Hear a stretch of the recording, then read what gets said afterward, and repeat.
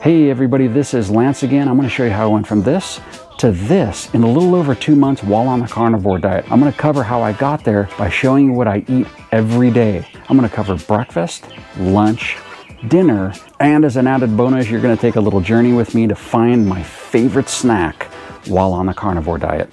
So before we get started, do me a favor and don't be this guy in the comments. Moopsie and I only eat grass-fed beef from the highest Himalayan mountains. There are a ton of people out there that may not have the amount of money that you have. They can't go out there and buy all the grass fed stuff. And not everybody's going to live up to your standards of food, so just be nice. The best I could say is don't be a Gunther. For breakfast, I'll have two eggs, maybe a piece of cheese in there. I'll cook that in maybe two tablespoons or a tablespoon of butter. I will have a cup of coffee with maybe a quarter cup of heavy cream. For lunch, I will have another coffee with heavy cream and nothing else. And then for dinner, I will either have a steak, a burger, salmon, or a piece of chicken cooked in butter. I also use the Kirkland brand Himalayan pink salt. That's it. I eat nothing else. If you eat this way, you are not going to feel like you're starving. When you start putting this fat in your body, you're not going to have the same hunger pains like you did if you were on another type of diet. That's the great part. Oh, late night snack, probably around 7 o'clock at night, I have a decaf coffee with, you guessed it, more heavy cream.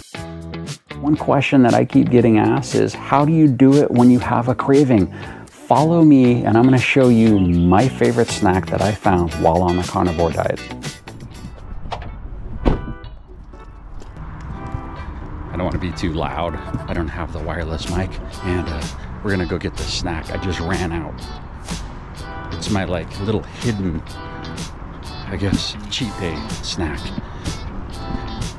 Can't wait to show you what it is. You probably already know.